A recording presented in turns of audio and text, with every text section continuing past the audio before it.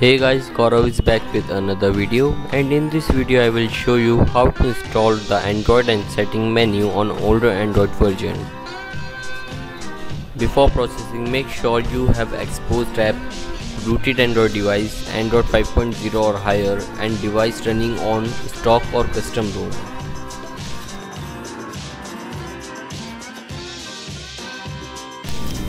Open Xposed app and go to the download section and search for Android N-ify.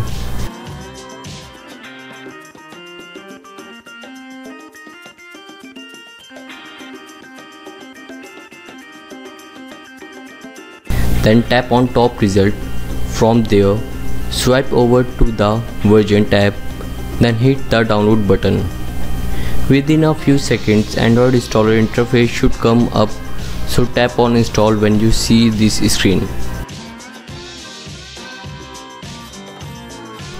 Finally, once the module has been installed successfully, make sure to activate it from the modules tab.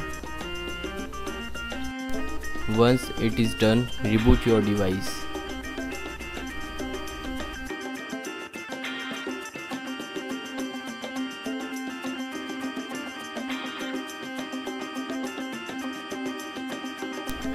After rebooting, no further setup is needed.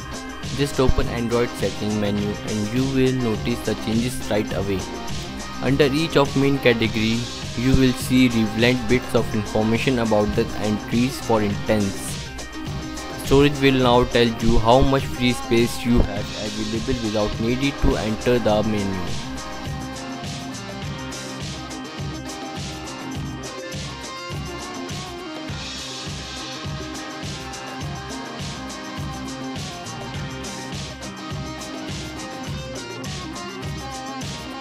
Thank you for watching.